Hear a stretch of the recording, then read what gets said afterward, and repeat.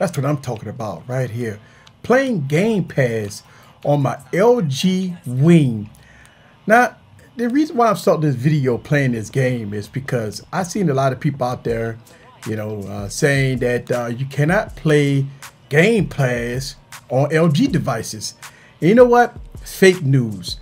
Also, I hear people out there saying that uh, you can't play games on the, the 765G processor because the processor is too weak. Also, fake news. Uh, I, I, see a lot of people bashing LG uh, devices for a lot of different things, performance, and LG is, is, is this and LG is that. And I'm calling it all fake news. What's up, everybody? This is Eric the Tech Preacher. I've been using LG phones for years, and every time I turn on the internet, every time I look at a vlog, every time I see people in comments, and even in my comments, a lot of people say LG phones are junk. Uh, the UI is trash. Uh, you cannot play no games on LG devices. The cameras is trash, and just like you know everything in between. And I all call it fake news. And the reason why is because those people that uh, probably bash LG devices is people that probably never had an LG phone, or if they did had an LG phone, they probably had LG phones way back about 20 years ago uh, when LG phones was not that great. So in this video, I'm to discuss LG and, and their devices, and we're to talk about performance. Uh, so sit back and relax, get your popcorn ready. I'm to play some games with my LG Wing and follow me on this journey. Let's go.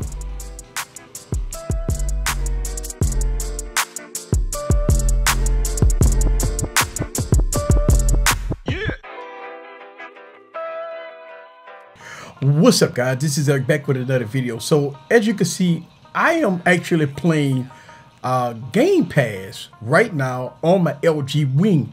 Now a lot of people say that this is impossible easy. The phone that has a 765 is not a flagship. It cannot play no games. Again, fake news. Let me show you guys. Actually, I got the uh, the Xbox joystick connected to my uh, LG Wing, uh, and I downloaded Game Pass, which I have a subscription with on my Galaxy devices, and it's the same thing. Only thing you gotta do is just download Game Pass the first thing that I saw in a lot of comments of mine and a lot of comments is that you can't play games. You can't play Game Pass on an LG device. Again, fake news. So let me show you guys. I'm gonna get out of it. There it is, right? This is Game Pass, right? And so these are all the games I've been playing. Uh, you know, Mortal Kombat uh, F10, Gears 5, Batman, Halo 5, and a lot of other games. Um, and on the LG Wing, it plays very well. Also, uh, games like Call of Duty, uh, mobile, uh, you know, uh, Modern Combat 5, all these high-end intensive games play without a hitch on the LG Wing. Yeah, 765 processor. Oh my God, you can't play games on the 765 processor. You need to have the 865 plus and 30 gigs of RAM to play games. Listen, man, stop with the fake news. You can play games on 765 processors at medium to high settings, and you can have a very good experience. Um, I've played games uh, a lot on my LG devices, and I have no no issues. Okay, so in 2020, even though we're in 2021, listen, Happy New Year to everybody. But in 2020, let's get the fake news out of the way. LG gave you a device for everything, right? If you wanted innovation, okay, here we go. LG Wing, right? So the LG Wing is your innovative device. This is a flagship true and true. Forget what you think about 765, 8 gigs of RAM and stuff like that. This is a flagship true and true, without a doubt. All right. So a lot of people say, well, easy. But I do want a flagship, so-called flagship with the 865 and all that good stuff. Okay, cool. There you go. LG V60, 865 processor. This is your flagship, right? This is the LG's flagship. But easy, just a plain old slab. LG didn't bring anything to the table. they got to dual display. So LG then came back and said, okay, cool. We're going to give you a dual display with your LG device. So now you got to dual display great functionality with an LG device. Well, easy, it's not like a Galaxy. Well, LG bought it even further. LG bought pen support on all LG devices in 2020. So not only do you have dual displays, innovation, but now you got pen support on LG devices. So now the Stylo software that uh, you know and love from the Stylo devices has been ported over to LG. Bamboo ink pen, you got clicky buttons that's programmable. Now you have full pen support on LG devices. So, okay, now we have innovation. Now we have Galaxy Note type features. Do we have dual displays, right? Even on the Velvet. So now we got dual displays on two devices, right? So we have innovation, we got dual displays, we got pen support. Guess what? We have headphone jacks on both devices, right? The LG Velvet. So here we go. We have headphone jacks on LG devices. So we got innovation, pen support, dual displays, flagship specs, headphone jacks. Guess what? We got awesome cameras. Now, one of the things that uh, LG brought to the table with the LG Wing is a gimbal that's unreal. I love this gimbal on here. Uh, and I made a video about it going against the Galaxy Note. I think the gimbal uh, feature on here is A1. I love it. It works very well.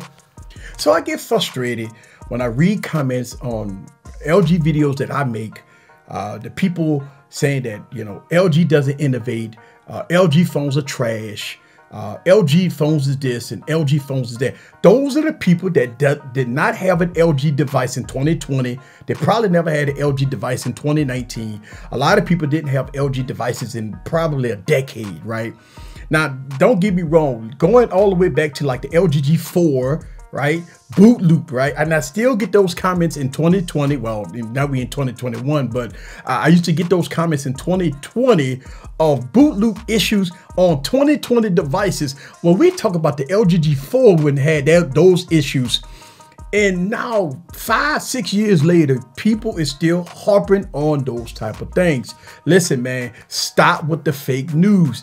LG devices are very good. The only issue the only problem with LG devices, and this one major issue, is marketing, pure marketing. Everything else about LG devices is pure beauty and great. Think about it. You want innovation, they gave it to you. The LG Wing, right? The most innovative product of 2020 is the LG Wing, right? Now, when you talk about headphone jacks, they gave it to you in their flagship, the LG V60. You got a quad DAC, headphone jack, awesome cameras. Pro mode is unreal on this device, right? You get a beautiful uh, display. You get fast performance. You get all kinds of good things with the LG V60. Dual display support, pen support, dual speakers, quad DAC, everything in between with the LG V60 for under 1,000 bucks.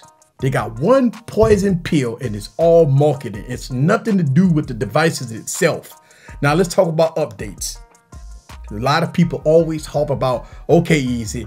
You saying that the, the LG devices are great, but what about updates? Listen, I would agree with you. LG should be on uh, Android 11 right now with these devices. we still on Android 10. All right. So when it comes down to updates, I would agree with you guys and said that, hey, LG need to speed up the process to make sure that their devices stay up to date. People talk about LG phones as trash. Why? Well, easy. I don't like uh, the LG skin on top of Android. Well, guess what? This is Android, people. Put a launcher on your device. Use a Pixel launcher or uh, Nova launcher or anything. Listen, before I, before, before uh, One UI 2.5. All right, on Samsung devices, I always change the launcher because I did not like Samsung experience. I didn't like TouchWiz, so I always put a launcher on my device. So if you don't like the launcher that's on your current device, that's no excuses. All you have to do is download a launcher and put it on your device.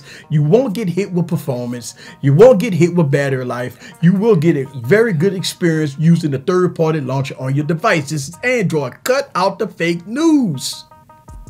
Also, I don't care how much money they make and how many phones they sell. That's another thing people always hit me in the comments. Well, LG don't sell that many phones. How do you know they don't sell any phones?